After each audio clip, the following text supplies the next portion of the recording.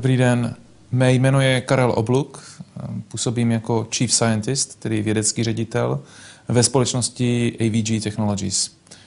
Společnost AVG nebo AVG byla založena už před 20 lety v roce 1991 v Brně jako Grisoft. Postupně jsme se vypracovali na globální společnost s působností po celém světě, prakticky ve všech zemích světa a jsme jedním z nejvýznamnějších dodavatelů eh, bezpečnostních produktů pro osobní počítače, eh, antivirových produktů. Eh, program AVG používá v současnosti více než 110 milionů uživatelů skutečně po celém světě. Byli jsme také první společností, která nabízela antivirový produkt zdarma. Jsme tedy průkopníky freemium modelu, eh, tedy modelu, kdy eh, se nabízí nějaký produkt zcela zdarma a uživatelé potom platí za eh, případně jiné prémiové služby.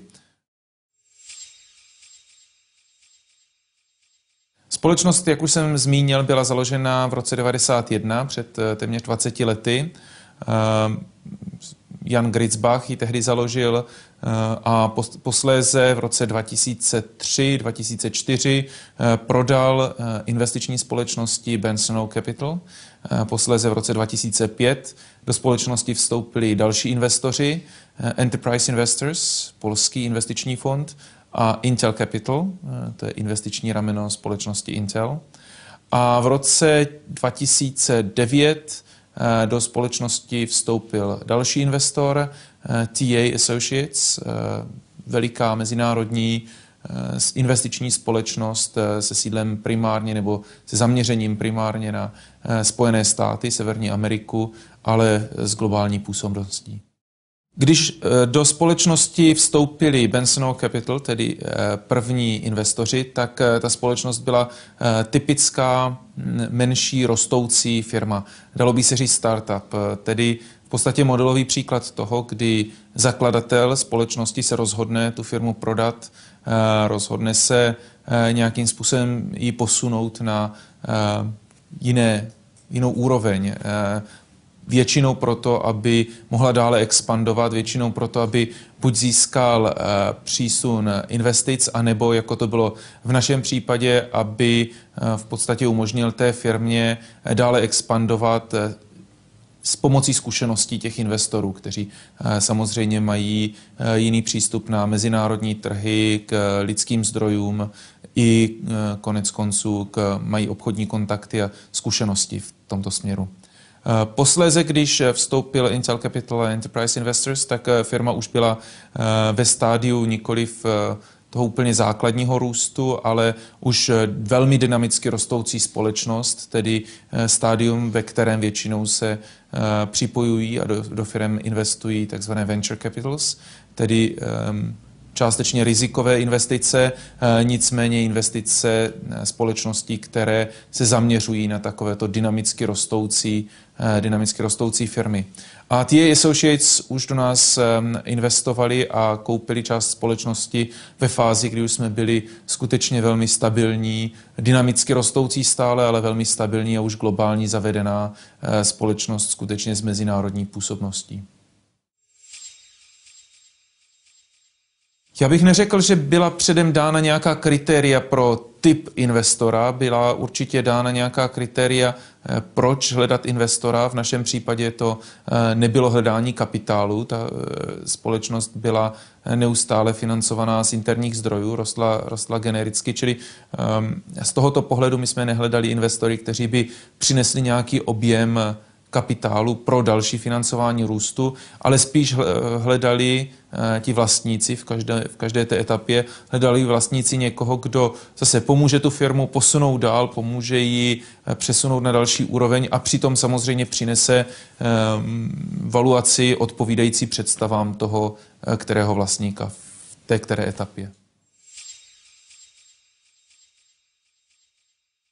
No já si myslím, že ta očekávání, která jsme měli, tak eh, skutečně eh, my jsme ani nečekali, že ta firma může být takhle úspěšná, že ta firma může takhle růst a ani jsme nevěděli, jak eh, moc v nás je, jak moc jsme schopni tu firmu posunout někam dále, když nás bude někdo pořád a intenzivně tlačit. Takové to z postřižin musíte se víc snažit, pane správče. Tak to je, to je pravda. Opravdu eh, ti akcionáři prostě takovýmhle způsobem k tomu přistupují a eh, to bylo, to bylo poznání, které eh, bylo velmi zajímavé a myslím si, že je to opravdu úžasná životní zkušenost ti eh, investoři v podstatě si velmi dobře, a my jsme byli skeptičtí k tomu trochu, ale investoři si velmi dobře uvědomovali, eh, kde je hodnota té firmy, že jsou to především lidé, že je to především know-how, eh, že je to ta existující firma, že bez toho by se jim ta investice v podstatě nevrátila. To rozhodně nebyly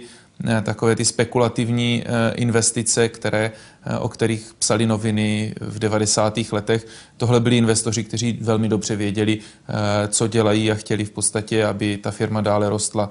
Čili tam ty, ta naše, eh, nebo ty naše obavy se rozhodně nenaplnily, tam to bylo eh, mnohem lepší, než jsme čekali.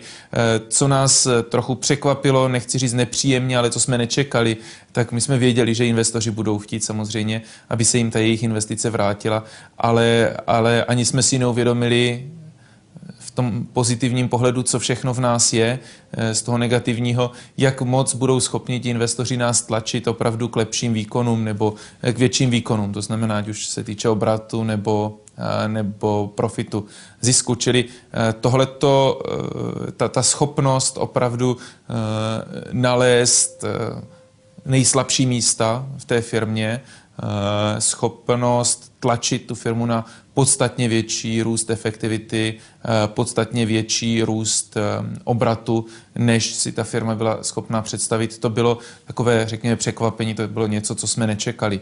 Eh, a potom to, co jsme nečekali, co jsme si neuvědomovali, a není to jenom zkušenost moje z naší společnosti, ale v podstatě jsem se shodl na tom s kolegy nebo kamarády z jiných firm, kde, kam přišli investoři, byl tlak na zavedení nějakých procesů a pořádků v té firmě, eh, zejména z hlediska finančního, to znamená správné plánování, eh, výkazy, eh, protože marná sláva ti investoři samozřejmě jsou schopni sledovat tu firmu nejlépe právě prostřednictvím finančních ukazatelů a tam jsme to, myslím si, dlouho podceňovali nebo nebyli jsme tak úplně ve shodě s těmi investory, co je všechno potřeba a, a tam teprve investoři nám, nám v podstatě ukázali, co skutečně taková mezinárodní globální firma potřebuje a jakým způsobem je nutné připravovat se, zejména plánování, eh, finanční plánování i dlouhodobé.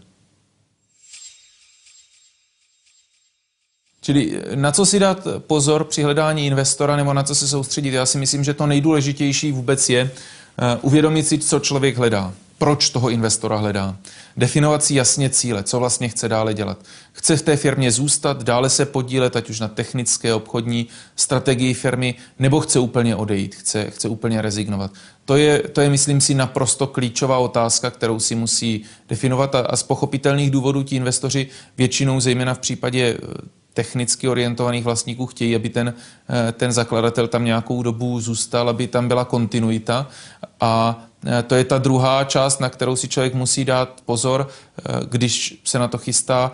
Musí si jasně vydefinovat, jaké budou jeho úkoly, jaká bude jeho role a musí si sám sobě vysvětlit a přesvědčit sám sebe, že skutečně se ta role změní, že, že nebude stejná, jako byla předtím. To je, to je asi klíčové.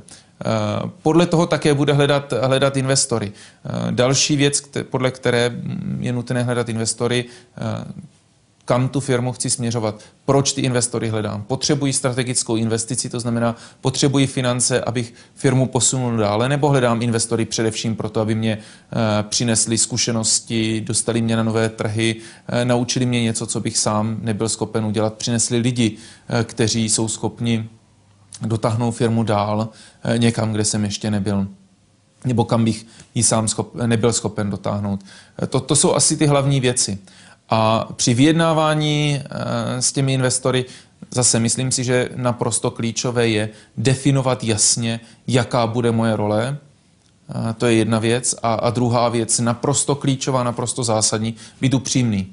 Eh, nesnažit se získat víc tím, že nalakují výsledky firmy na růžovo, ale opravdu být upřímný, protože oni ti investoři na to stejně potom přijdou a, a pak to přináší jenom problémy. Čili být upřímný e, sám k sobě, nelakovat sám pro sebe tu realitu na příliš růžovo a být upřímný k těm e, potenciálním investorům, e, protože na jednu stranu chci získat e, samozřejmě co nejlepší valuaci, co nejlepší podmínky, ale na druhou stranu, pokud to nějak zkreslím, pokud tam budou problémy, tak se mi to jenom vymstí.